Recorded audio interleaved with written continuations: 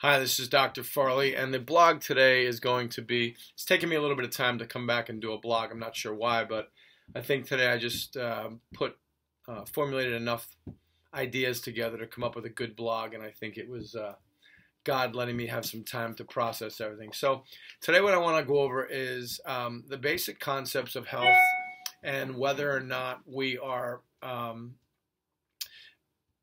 being taught correctly and also all of the propaganda and the subconscious programming that's being pushed on a regular basis.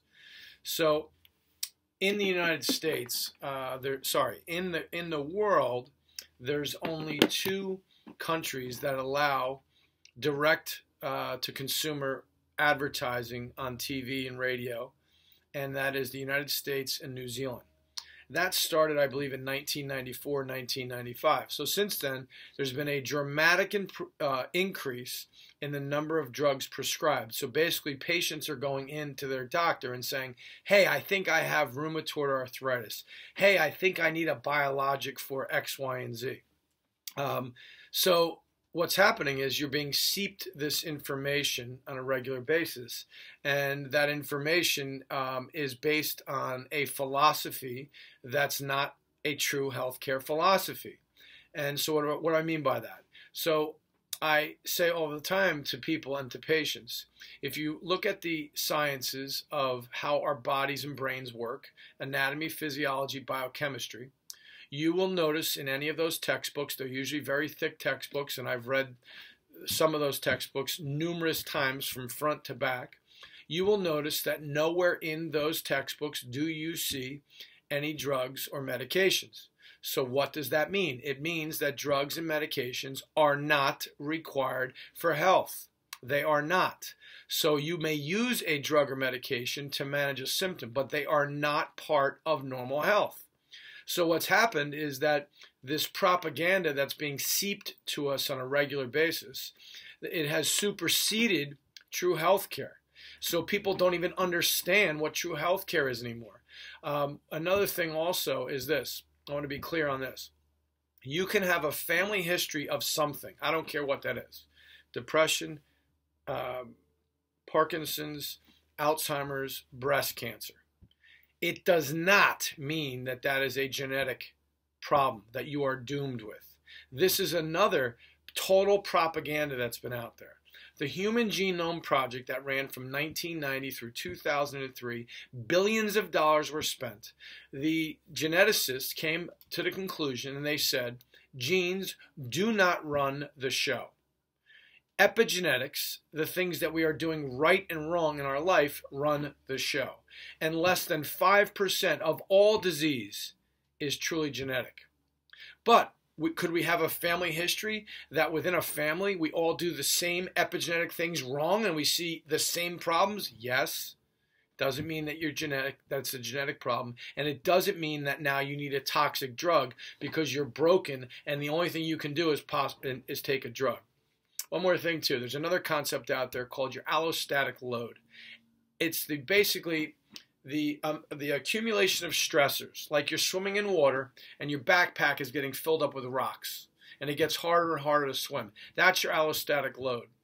The number one uh, contributor to a person's allostatic load is drugs and medications. Why again? Because they're not part of anatomy, physiology, and biochemistry. It is not part of the system. So every drug we take drives us down, sinks us a little bit lower in the water, gets harder to swim, gets harder to maintain your health. And then we have the side effects of all of that. So, with that said, um, I also wanted to talk about. I'm reading a, a book, and in this book here, I wrote a few things down, and it was talking. By the way, it's a, a book written by uh, Dr. Fleet in 1931, and I wrote this after just going through the section on the laws of the body. I wrote this: We must abandon the chaotic medical fear philosophy and begin with self-discipline to our bodies, then mind and soul. Food is the number one starting place. Food is fuel. We've lost sight on what we're putting in our mouth is going to show up as health. Now look at anatomy, physiology, and biochemistry. Do we see foods in there? Yes. Vitamins and minerals in there? Yes. Do we see essential fatty acids in there? Yes. Amino acids in there? Yes. It's all part of proper function. And health is proper function.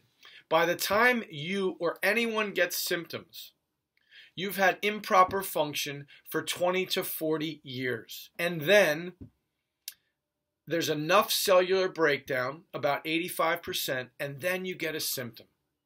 And then the person gets the symptom. They may struggle with the symptoms for a little bit. They normally go to their GP if that's who they go to or someone else. And what do they get? They get a drug. And what does the drug do? Maybe it manages your symptom, maybe it doesn't. It doesn't address the cause whatsoever. It's not part of normal physiology, it's not part of normal health care. It can never get you healthy. Here's another great example. If I wanted to go to the shore from my new location of my uh, current clinic here in Bridgewater, New Jersey, I better drive southeast or I will never hit the shore. When you pop drugs for healthcare, it's like driving northwest. You can never get there. This won't ever bring you there. It can't bring you there. It's not part of normal anatomy, physiology, and biochemistry. And it does not influence the system in a positive direction. It may manage your symptom. You might need a drug to save your life, but that's not healthcare. Okay, that's disease crisis intervention. So, with that said, um, I hope this makes sense to you. I hope you know, you know, also as you're watching these TV ads over and over and over and over again, um, that we're being bombarded with this, and that you really need to go back to find a true healthcare provider that focuses on function, uh, and an expert in food, an expert in vitamin and minerals, uh, an expert in the nervous system because the nervous system is the master system, an, es- an expert in the gastrointestinal system, and I don't mean a gastroenterologist. There's another one too. So people have gas. I just got off the phone with I have gastrointestinal problems. I've been suffering with for three years, and no one's talked about food. Can you imagine? Can you imagine? I mean, ridiculous to me. So anyway, if you have any problems um, and you want you would like to have a uh, consult, please give the office a ring. If this makes sense to you, let me know. Uh, again, remember this that a drug may be required to manage a symptom, but you should never, ever, ever think that you've just gotten something fixed. You didn't. Every drug adds more uh, stress to a stressed out sy- system. It's again like putting more and more uh, um, bricks in your backpack until you finally sink. Um, and over a time frame, we must focus all of our efforts on understanding true healthcare, and we must go to people that are true healthcare providers if we're ever going to get healthy again. Our, our society is stuck in a chaotic, sick healthcare system because we're not getting true healthcare. We are not being provided true health care. This is not true health care. Can never, will never, does not bring you true health care. Again, you want to get to the New Jersey shore, you better drive southeast. This is driving northwest, doesn't bring you there. Thanks. Have a great day. Any questions, let me know. God bless you, God bless your family, and God bless the United States.